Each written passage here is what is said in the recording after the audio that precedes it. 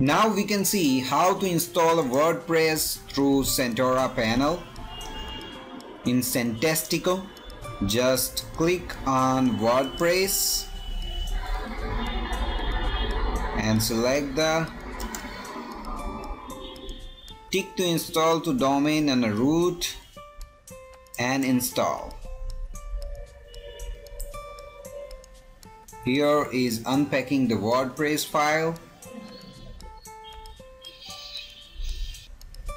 Now install now.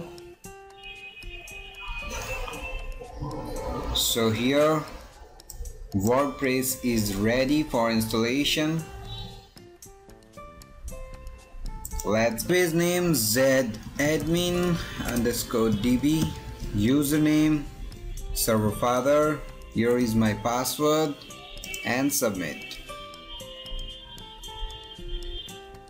run the installation and now I am running the installation files. Title server father. Username server father. Password.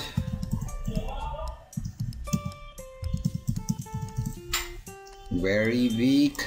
And my email address server father at gmail.com install WordPress now here you can see the WordPress is ready.